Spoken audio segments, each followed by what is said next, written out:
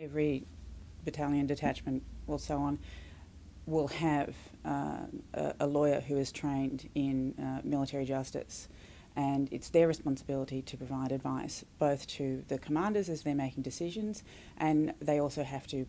disseminate the laws of armed conflict uh, to all of the ranks so that they are aware of what they can and cannot do. It's usually also standard practice for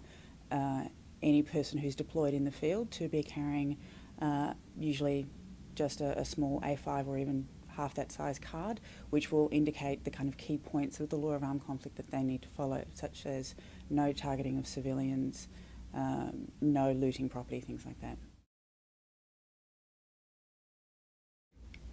Well, again, anyone who would be conducting an interrogation, they're in theory going to be reasonably high up in command, so they would have likely gone through uh, training in the laws of armed conflict. If the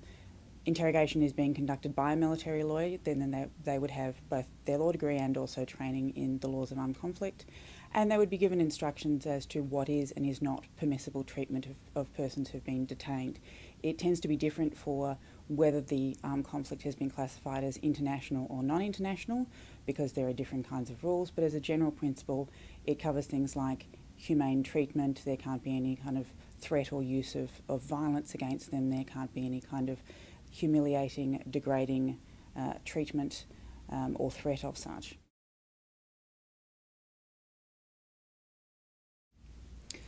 The laws of armed conflict with regards to the treatment of POWs and detainees are very specific in terms of what as a minimum rule can be provided, such as shelter, uh, appropriate food, access to uh, health and medical facilities and recreational facilities and things like that. Um,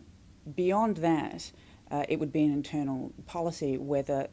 they could make out the case that perhaps restricting their sleeping hours to, say, five or six hours a night or, or perhaps interrupting it would be in keeping with that. But as a general rule, they would have to follow basic minimums. So you would have to argue that if it's a, a, a detainee who perhaps is, is going to be put to work in um, physical labour, they would have to have at least six or seven hours sleep a night, and that probably couldn't be interrupted. You would certainly be able to make out the case that something like that would be considered inhumane. In terms of the other kinds of things like dietary management, you wouldn't be able to include things like uh,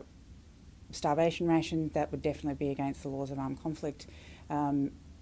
also, if there were specific religious requirements, say for instance halal food or kosher food, uh, or if someone were strictly,